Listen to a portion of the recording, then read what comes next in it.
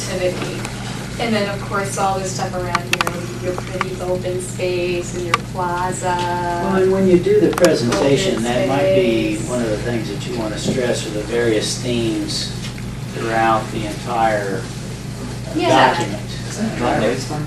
It it is a dry erase marker. This issue of connectivity is a very, that seems to be a very uh, Use your spray. I know.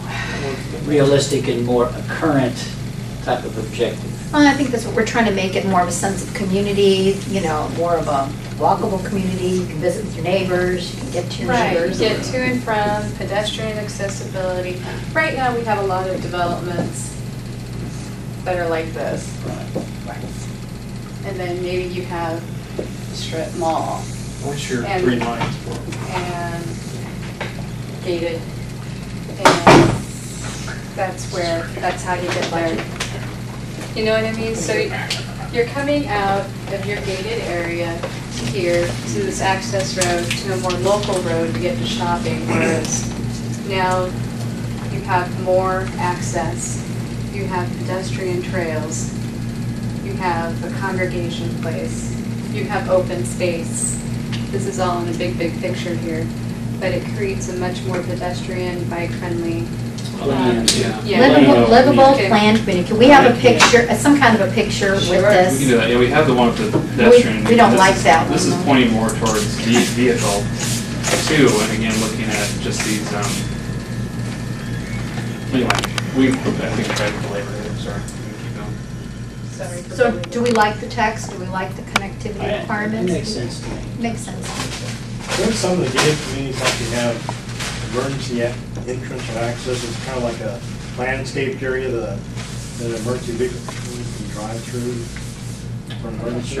take a look. You just mow down the flower beds or something? Well, it's it's basically designed for, for emergency entrance or exit, but it's landscaped where you really can't tell it, but if a vehicle needs to go through, it can go through. If, if it would be something that would be aesthetically pleasing, I'm just thinking of the ones that I can think of, like the Meadow Ridge one. It's, it's, And usually, Yeah, oh, yeah. they It they sticks do- out, it they looks are out. landscaped Where where, that example. once you're it was over, you bad have to example. That's the one I re-landscape can it, but just for emergency. yeah. They're not used very often. Can staff look into that and just, because, um, that's a good question. What are we doing now? Um, Turn it over to you next? Talking about, yes, Okay. but, but some kind of an emergency access for, for emergency vehicles onto the site that's not unsightly. It's So you not put some thorn bushes up there and let them pop Drive through it, I guess. those really big shrubs that's, yeah. I- I- Because basically, I think We it- wanna it's a connection, and it's like a, Is there a road there? it, it's a, like a con, concrete or brick, some kind of a structure that can be, dri- can be driven on, but you can also have like grass growing on it too. I I know you mean, can. I, I've seen them like in Florida, my, s- when my son used to go to school down there, I walk around this neighborhood, I can see these areas, I thought, what the heck is that? So that's emergency. Does it look nice? It looked nice, I mean, you could, but once you drove through it, you'd probably have to re-landscape it again, but just for emergency access to it. Taken down, let's keep going. Sorry, I'm sorry. Okay, building organization. Okay, I'm coming. I'll, I'll- I'll leave that. Building organization. Okay. You have my pretty one, don't you? Okay. That's okay. Uh, Individual buildings in the development should- shall, may be oriented as followed. Clustered or grouped to form neighborhoods. And clustering and grouping to form neighborhoods are good on a lot of different levels. One, to form neighborhoods, two, you have open space clearance.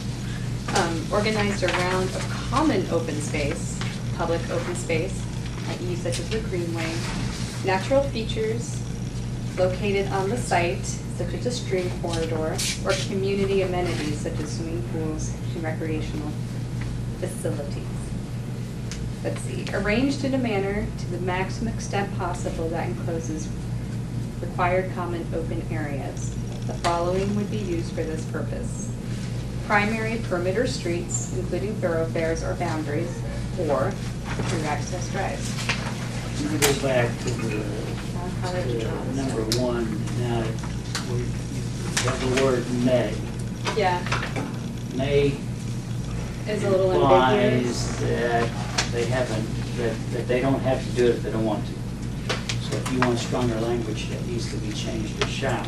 Yeah, it should be shall, because you. Here's your choices. Yeah, there's several They Well, I choices. understand you have choices, but still, You shall choose one of these. Right. Okay. I mean, may means I, s- I don't necessarily have to use those choices in my mind. Change it to shall. Change it to shall, I did circle that.